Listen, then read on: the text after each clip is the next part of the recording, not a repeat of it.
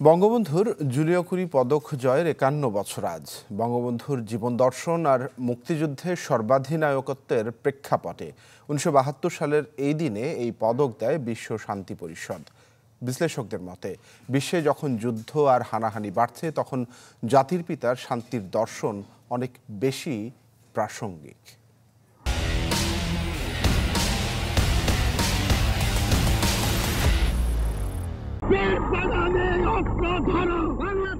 বঙ্গবন্ধু হয়েছিলেন আগেই মহান মুক্তিযুদ্ধে হয়ে ওঠেন বাঙালির অবিসংবাদিত নেতা। আর দেশ স্বাধীন হওয়ার পর আন্তর্জাতিক স্বীকৃতি পান বিশ্ববন্ধুর। উনিশশো সালের দশ অক্টোবর জুলিওকুরি পদক প্রাপক হিসেবে বঙ্গবন্ধুর নাম ঘোষণা করে বিশ্ব শান্তি পরিষদ। এর আগে পরিষদের প্রেসিডেন্সিয়াল কমিটির সভায় একশো দেশের প্রতিনিধিরা একমত হন সারা জীবনের দর্শন আর মুক্তিযুদ্ধে সর্বাধিনায়কত্বের প্রেক্ষাপটে তাকে পদক দেয়া হবে। পরের বছর তেইশে মে, এশীয় শান্তি সম্মেলনে বঙ্গবন্ধুকে পদক তুলে দেন পরিষদের তৎকালীন সেক্রেটারি জেনারেল। তখনই বিশ্ববন্ধু উপাধি দেয়া হয়।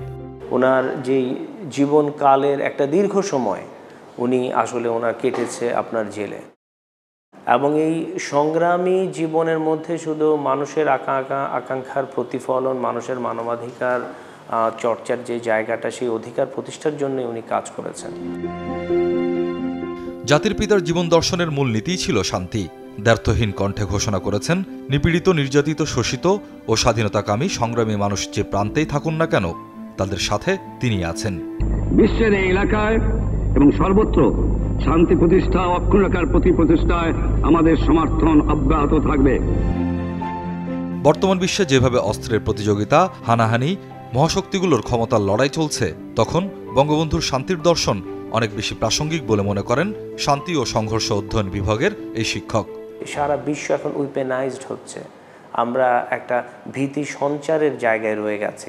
এই ধরনের বিশ্ব বঙ্গবন্ধু সহ তাবৎ বিশ্বের যারা শান্তিকামী নেতা ছিলেন কেউই আশা করেননি। পৃথিবীতে আপনার করায়ত্ত প্রতিষ্ঠার জন্য যে গ্লোবাল পাওয়ারগুলো যেই যুদ্ধে নেমেছে বা যেই জায়গাটায় তারা ইনিশিয়েটিভগুলো নিচ্ছে, এখানে কিন্তু যে সিভিলিয়ানরা রয়েছে those who are not the main part of the game তাদের কিন্তু অবস্থা দিনের পর দিন খারাপই হচ্ছে।